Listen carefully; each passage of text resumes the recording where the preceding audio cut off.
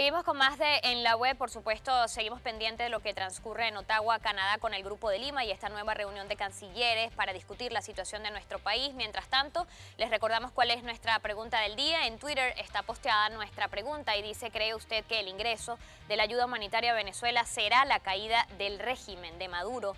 Sigue con 82% la opción del sí y 9% no y no sabe. Por allí algunos comentarios. Eh, en torno a este tema. Sabemos que muchos venezolanos están bien pendientes de lo que ocurre ahí en la zona fronteriza. Hay que ser ciego para no ver que será así o estar viviendo en otro planeta, dice Andrés, un usuario de Twitter que ha estado comentando sobre nuestra encuesta del día de hoy. Tengo que comentarles también que Roberto Ampuero ha estado publicando en su cuenta de Twitter un agrado saludar al primer ministro de Canadá. Recordemos que se refirió al tema de Venezuela en esta instalación del Grupo de Lima. Dice que le agradeció el, el, apoyo al Grupo de Lima, lo que está haciendo y que valora el liderazgo del gobierno del presidente Sebastián Piñera en la lucha porque los venezolanos recuperen la democracia. Así es que pues los cancilleres de distintos países allí eh, manifestándose a través también de las redes sociales, poniendo como un trendy topic también la mención Grupo de Lima. Pero a esta hora vamos a pasar de inmediato a revisar en este caso eh, lo que ha colocado en eh, el Twitter justamente Roberto Ampuero, lo habíamos visto en la pantalla de EBTV. Ahí está. Dice, un agrado saludar al primer ministro de Canadá, Justin Trudeau. Le agradecí el apoyo de su país en estos minutos al Grupo de Lima. Él valoró el liderazgo de gobierno del presidente Sebastián Piñera en la lucha porque los venezolanos recuperen su democracia y su libertad. Allí ven ustedes el momento en el que saluda también formalmente al presidente canadiense Justin Trudeau, quien además, repetimos, anunció esta ayuda de 53 eh, millones de dólares que se une a lo que está haciendo Estados Unidos y Europa para ayudar a Venezuela. Pasamos a los titulares de La Patilla, en este caso este portal digital nos trae informaciones. Eh, la mayoría de los medios en Venezuela amanecieron este lunes reseñando todos los pronunciamientos que han dado los países de Europa para alentar, para apoyar al gobierno de Juan Guaidó. Alemania liberará 5, millones de euros para ayuda a Venezuela. Se sigue sumando el apoyo de los distintos países a Venezuela. Reino Unido evalúa sanciones a Venezuela. Eh, Europa ha reaccionado pues masivamente el día de hoy lunes aumenta el número de presos políticos en Venezuela a 966, asegura el foro penal. Así es que nosotros, por cierto, también en EBTV vamos a estar sirviendo de sede al foro penal, quien va a estar dando pues cifras, compartiendo cifras, sobre todo desde su núcleo acá en Miami, de eh, cuáles son eh, pues lamentablemente las cifras de las personas que siguen retenidas por el régimen de Nicolás Maduro. Guaidó suma nuevos apoyos tras los reconocimientos de países de la Unión Europea, allí lo están reseñando. Mayoría de países europeos reconocen a Guaidó al expirar ultimátum a Maduro, tal como lo comentábamos eh, iniciando nuestro programa. La llegada de ayuda humanitaria eh, a Colombia mide la fidelidad de los militares con Maduro. Emmanuel Macron, Francia reconoce a Juan Guaidó como presidente encargado de Venezuela, así luce la primera página de La Patilla justamente tras expirar este ultimátum dado por la Unión Europea Nicolás Maduro para convocar en el plazo de ocho días a unas elecciones presidenciales en Venezuela. Varios países europeos han comenzado a reconocer este lunes oficialmente al presidente de la Asamblea Nacional Venezolana, Juan Guaidó, como presidente interino entre los gobiernos que se han estado eh, pronunciando oficialmente en torno a este reconocimiento están Francia, Reino Unido, Suecia, Dinamarca y España, entre otros. Vamos a chequear eh, esta manera, esta nota en la que pues la patilla resume este apoyo en el viejo continente para el presidente interino Juan Guaidó. Vamos a a leerles los detalles. Dice, España, Reino Unido, Francia y otros países europeos se sumaron este lunes al reconocimiento internacional al opositor Juan Guaidó como presidente encargado de Venezuela tras expirar un ultimátum a Nicolás Maduro, quien se negó a convocar unas elecciones presidenciales. El primero en hacerlo fue España, cuyo presidente de gobierno Pedro Sánchez anunció que Madrid reconoce oficialmente al presidente de la Asamblea de Venezuela, Juan Guaidó, como presidente encargado de Venezuela para que organice elecciones en el menor plazo de tiempo posible.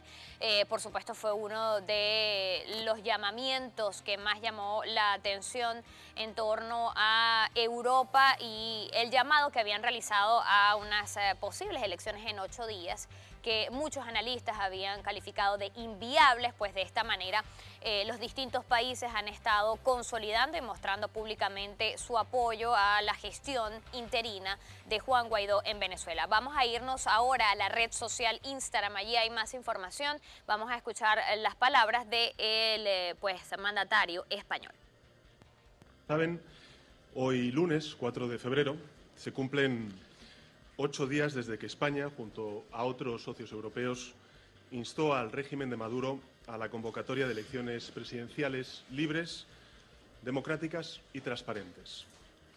Llegado este día y sin que se haya dado paso alguno en esta dirección por parte del régimen de Maduro, el Gobierno de España anuncia que reconoce oficialmente al presidente de la Asamblea de Venezuela, al señor Guaidó Márquez, como presidente encargado de Venezuela.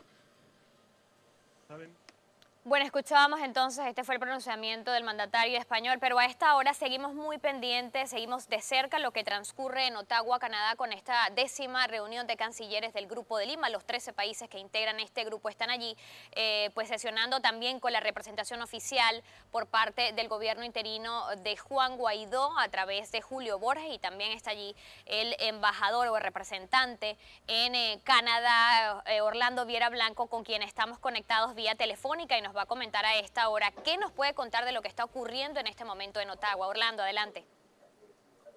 Hola, buenos días, Reiné. Eh, muchas gracias por el contacto.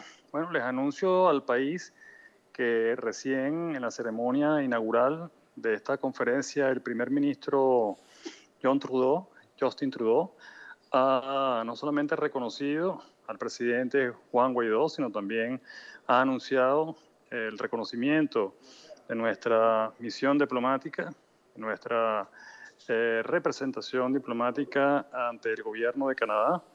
Y esto, a su vez, acompañado de la constitución de un fondo por 53 millones de dólares para la ayuda humanitaria en Venezuela. Esto recién acaba de ocurrir hace apenas unos minutos aquí en la ceremonia inaugural en Ottawa.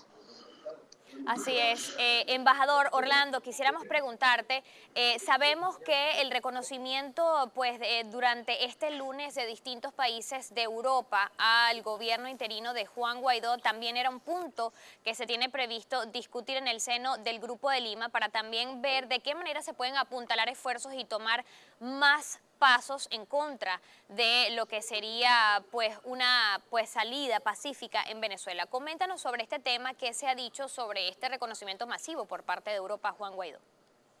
Bueno, la mañana ha sido muy movida en ese aspecto, se han sumado, ya ustedes lo saben, países como eh, Holanda, se ha sumado igualmente España, que es muy importante, y la idea es avanzar ciertamente en una agenda de desenlace constitucional y pacífico que venga a su vez sumando la agenda de presión sobre el gobierno de facto de Caracas, sobre otra serie de aspectos que ya el público lo sabe, como la profundización en la ayuda humanitaria, la liberación de presos políticos y la restitución republicana en definitiva. Hay un ambiente realmente institucional de consolidación y posicionamiento institucional de la presidencia de Juan Guaidó y creo que esto está produciendo un efecto cascada que va acercando mucho más al gobierno de facto del exmandatario del señor Maduro. Embajador, ¿ha tenido la oportunidad de tener conversaciones directas con el representante también del gobierno de Juan Guaidó, Julio Borges, quien es pues ahora la, pues digamos, la representación directa allí, pero en el grupo de Lima? ¿Han podido conversar? ¿Han podido tener algún tipo de feedback de lo que viene y lo que pueden estar gestionando? Sí, cómo no. Tengo aquí a Julio Borges casualmente a mi vista y está muy concentrado en atender la agenda de todo el día aquí en la conferencia. Conversé con él. Obviamente también Julio muy atento a las reuniones de trabajo con los diferentes delegados de em, la conferencia del Summit.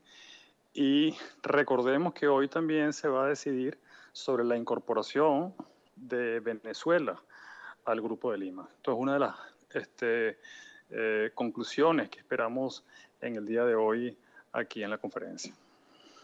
Se ha hablado también, algunos medios han publicado informaciones de que pudieran eh, pues salir algunos anuncios relevantes de esta resolución del Grupo de Lima, de Lima el día de hoy, como por ejemplo eh, pues que en bloque se adopte la, eh, que el no ingreso a funcionarios o personas allegadas al régimen de Nicolás Maduro a estos países que conforman el Grupo de Lima. ¿Se ha comentado algo sobre esto? ¿Nos puedes ampliar algo?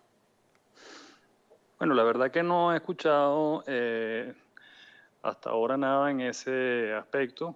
Se habla mucho de buscar fórmulas, maneras, eh, mecanismos ya de eh, restitución plena de la democracia en nuestro país. Se habla de la necesidad de que esto llegue pronto para, obviamente, ir a elecciones libres en, nuestro, en nuestro país. Se sigue eh, conversando sobre el diseño e intensificación en diferentes direcciones y desde los diferentes países de cuáles serían esas fórmulas de ayuda humanitaria. Eh, esto es básico, la logística, lo cual, te repito, lo, que se siente es un ambiente ya de, consolidación eh, del gobierno eh, interino de Juan Guaidó Márquez. ¿no? Embajador Viera Blanco, el tema que quizás ha quitado el sueño a muchos venezolanos, eh, pues esta madrugada, eh, pues ha habido mucha expectativa en la frontera colombo-venezolana, el ingreso de eh, pues la posible ayuda humanitaria que ha enviado Estados Unidos y otros países. ¿Qué se ha conversado ya en torno a lo que pudiera ser la situación que se suscite en la frontera ante la negativa o no de los militares venezolanos que están allí reguardando la frontera para que ingrese esta ayuda humanitaria, tomando en cuenta que el propio presidente Justin Trudeau ha anunciado más ayuda humanitaria para nuestro país? Bueno, hay una gran expectativa de que esta ayuda humanitaria eh, realmente llegue a donde tiene que llegar. Eh, la visión no es hacer de esto una situación de confrontación, de conflicto, eso hay que tenerlo muy claro. La visión es que se logre comprender eh, que esta ayuda humanitaria eh, ni siquiera tiene un trasfondo político, sino profundamente humano. Eh, todos los países apuestan que esto comience ya de algún modo a cumplir con, con su objetivo, que es devolverle una luz de vida y de esperanza a los venezolanos y con esto estabilizar un poco lo que es la seguridad y la calidad de vida de, nuestros compatriotas. Lo que sí es definitivo, que sí es definitivo, Reynés, es que hay un plan, un plan, eh, vamos a llamarlo sólido y consensuado, de reforzar esa ayuda humanitaria. Bueno, agradecemos al embajador Orlando Viera Blanco, representante pues ya nombrado, reconocido por la comunidad internacional por parte del gobierno interino de Juan Guaidó en ese país. Así es que por supuesto nosotros vamos a mantenernos bien pendientes de lo que ocurre en Ottawa, en Canadá. Allí se están reuniendo los cancilleres del Grupo de Lima. Nosotros con esto llegamos al final de En la Web. Como siempre, sigan en sintonía de EBTV.